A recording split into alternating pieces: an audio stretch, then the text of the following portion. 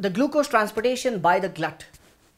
All glut transporters work via facilitated diffusion.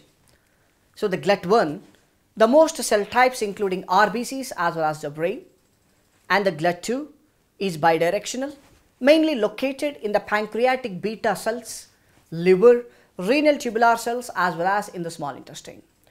So low affinity and high capacity isoform and the liver needs to be the glycogen or glucose reservoir but should not compete with other tissues.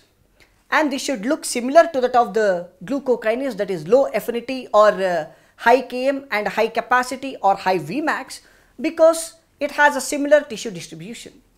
And next is GLUT3. The neurons, testes and the placenta contains GLUT3 type of transport system.